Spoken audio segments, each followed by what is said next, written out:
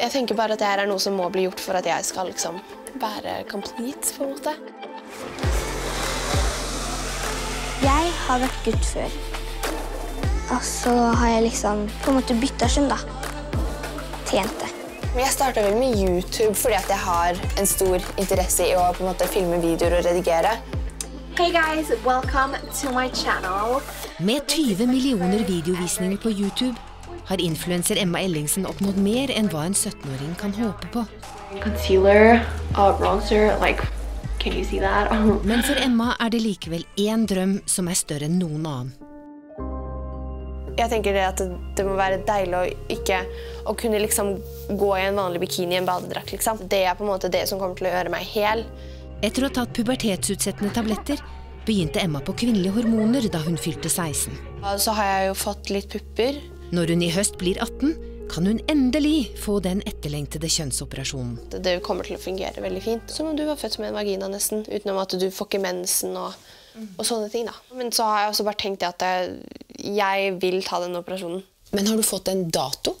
Nei, det har jeg ikke ennå. Det vet jeg ikke helt når jeg får heller. Men jeg er henvist til uh, kirurg. Fordi du er Emma. Ja. 100% Emma. Ja. Og det har du vært helt siden du var bitte liten. ja. Hvor tidlig liksom, har du en erindring over det der her er det noe feil?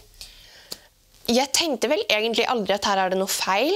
Det var mer bare sånn at uh, jeg så en amerikansk dokumentar om, om det her. Uh, og da, da skjønte jeg det litt, da. Men før det så hadde jeg aldri hørt om noen som var født feil kropp. eller noe som helst. Så da sendte jeg melding til mamma og sa det at uh, jeg vil bli jente. Og det var liksom da på en måte prosessen starta. La oss gå inn til mamma og ta en kopp kaffe, Emma. Mamma, åssen har denne prosessen vært? Ja, si det, du. Den har vært eh, veldig fin.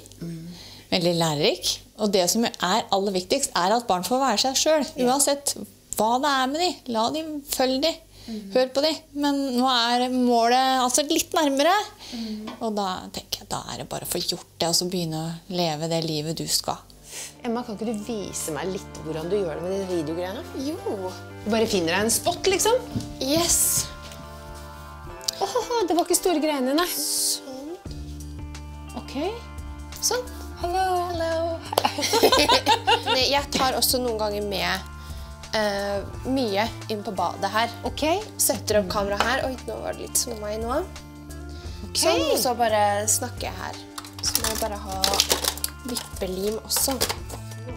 Nå er du snart 18. Så når vi var altså 14, 15, 16, 17, 18, så begynte vi å gå ut med kjærester og sånne ting. Hvordan har det vært for deg? Jeg har bare tenkt at eh, får jeg en kjæreste, så får jeg en kjæreste. Men det er liksom ikke noe jeg på en måte ser, ser etter sånn veldig akkurat nå. Men man forelsker seg jo.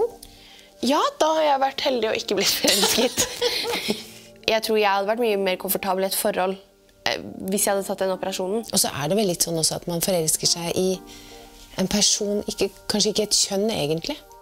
Ja, det har jeg også tenkt. Jeg vet jo på en måte selv at jeg liker gutter, men så har jeg på en måte aldri helt sagt heller det at, at jeg kunne like gutter, fordi man vet jo aldri. Og det er jo sånn med alle personer òg, at det kan jo være en dag at du forelsker deg i det samme kjønn.